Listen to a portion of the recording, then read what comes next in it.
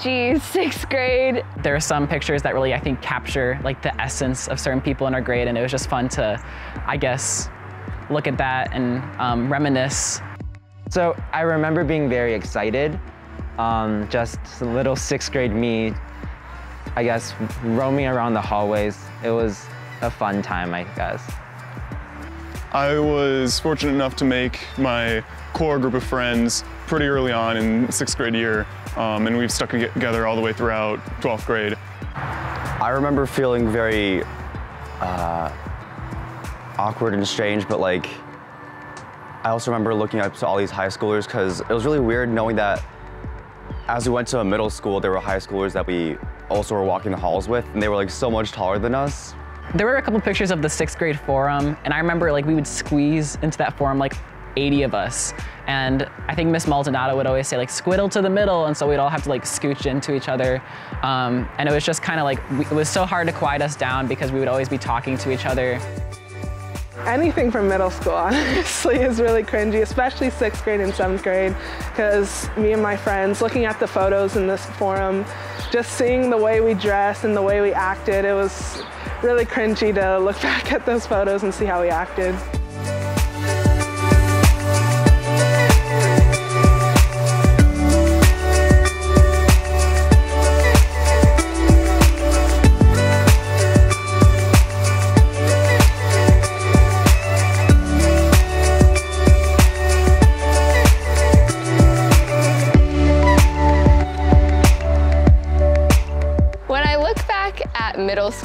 Probably. I definitely cringe at most of those pictures. I think it was all of our awkward phases, but um, looking back at the pictures over there, it's fun to see how much we've grown and how different we look and how different we feel from back then.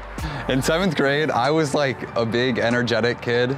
Uh, lots of energy, always running around the forum. You could definitely hear me up and down the school. Like whatever forum I was in, does not matter what forum you were in, you could probably hear me screaming.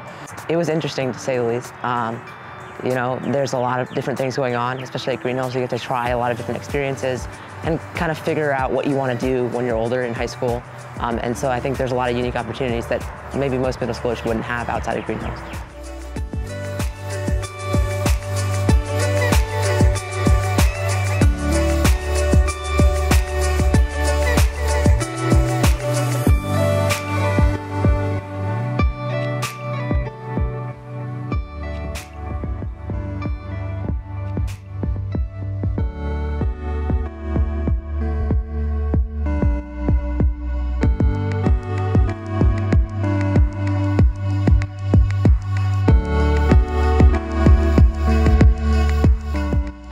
'This was freshman year. Um, I saw a few from freshman year. Um, I think we all came together freshman year during Spirit Week because it started off a little rough, but then during the later parts of the week, we got the office as forum decorating and we had people, everyone was chipping in. Someone made jello with a stapler in it. And I think we all just like had so much fun with it. Right, so you come in and you're like, oh, I have this conception of what high school is gonna be. And then it's just like, it's just weird. Like you feel out of place sometimes and then slowly you start finding your place. So I think, yeah, Greenhills freshman year was kind of odd for me. But after that, it all started coming together, but yeah.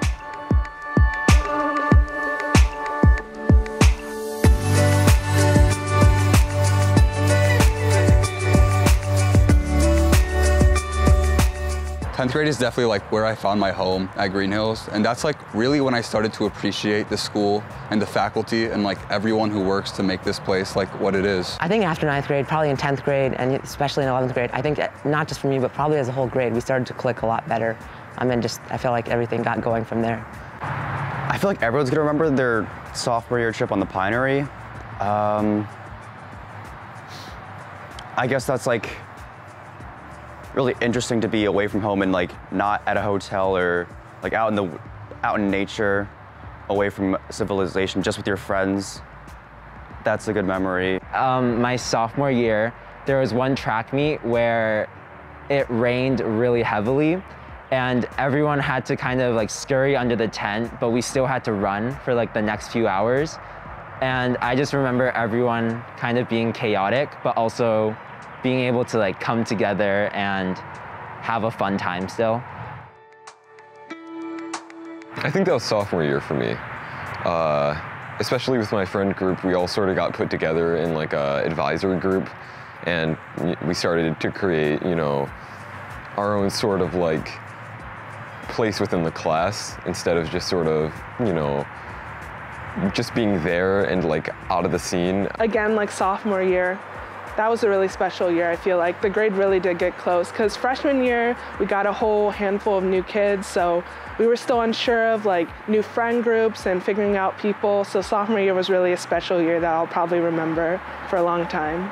I think I'll remember Mr. Wickland's 10th grade British literature class because I remember that was the time when I started falling in love with English class and because back then I never thought I was a person to enjoy English class or enjoy reading books or just like talking about themes and stuff like that but that class really changed my perspective on it and it made my creativity grow and enjoy literature. 10th grade is kind of like the last year of, of pure fun before things get hard in 11th grade. So a place that I really enjoy is the robotics like den, I guess. It's like over near there, it's like in the basement. It's this cozy spot and I have so many memories there just talking to Mr. Monasano and uh, all my mentors there, all my friends, even guys that went to college like a couple years ago, I still in touch with them just because robotics was such a big part of my life and that, that room I'm gonna, I think I'm gonna remember forever, so yeah.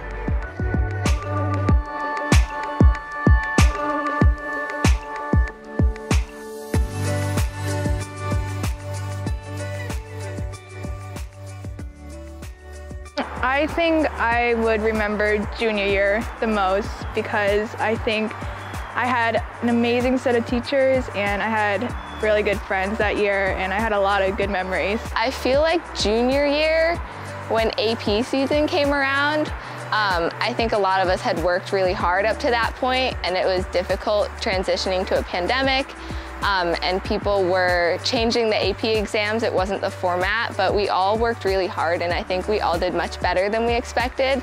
Um, that was a really proud moment. Uh, definitely junior year, because uh, that was the last year for me at least before COVID hit that I really got to experience, I guess, Greenhills. And I'll definitely miss, obviously things won't be the same, but that I'll definitely always look back on junior year and thinking about just going to classes, seeing teachers every day, hanging out with friends. That was really fun. I don't know what year, but definitely through Greenhills Theater. I can, I can say that. Greenhills Theater, but it has such a special place in my heart because that was one of the places where upperclassmen actually made you feel welcome. Um, Lila Rubin, I will never forget her. She absolutely helped me, you know, break out of my shell just because she was so kind and attentive. And I, that really inspired me to try to do that for other underclassmen when I got to be a senior. And I didn't really get to do it this year, um, but I tried my best throughout my time in high school.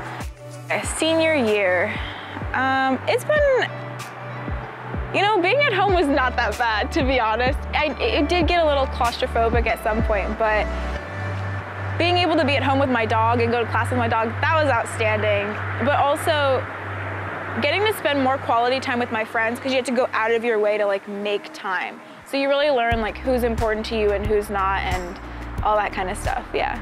I think honestly, this year is the year that I grew the most, my senior year, because we went through a lot um, and I think I grew as a person and was able to connect with a lot more of our grade, um, even though we weren't actually together because we were all going through something. I think I never would have expected Spirit Week to be so fun. I'm not a very, like, I don't, I'm not really loud, but I think Spirit Week is the one time where I am shouting my lungs out, screaming 2021 and cheering for all my classmates. So yeah. Ooh, I feel like this year was pretty much the best one because we dominated every single event. So that was pretty cool. my best year, I feel like I have to say this year just because although like the pandemic made it quite rocky, I think seeing everyone in my grade come together was really nice. It honestly has not set in that I'm like about to graduate. I remember when I was in seventh grade, eighth grade, ninth grade, even 10th grade, and I looked at the seniors above me, like they always felt like they were way bigger than me, like much more mature. But now obviously I'm in the position that so many people have been in before me. And it honestly doesn't really feel real. Like this is my last day at Greenhills, but honestly this year has probably made me closer with a lot of people because like we all went through this situation where no one knew what was going on. And now we're kind of like getting towards the clear. So yeah, it's super fun. I'm gonna look back and like, I'm gonna miss meeting meeting with Randy over Zoom for advisory. Um, I miss Mr. Wickland's 10th grade English classes. Those were always super, super fun. And yeah, there's a lot, there's definitely a lot I'm gonna miss. I am gonna miss having conversations with Miss Renault every single day because she was like, she was my favorite teacher by far at Greenhills. So when I look back in 50 years, definitely gonna remember the teachers the most. It'll have a special place in my in my mind and my heart, but I don't like I'm there's like that that, that feeling when you like take off from somewhere where there's that little bit of sadness, but there's a lot of excitement. And I feel like Greenhills prepared me for that, that I'm gonna have, that I'm gonna be fond of all the memories I had here, but I'm ready to, ready to move on. I think Greenhills gave me that, yeah.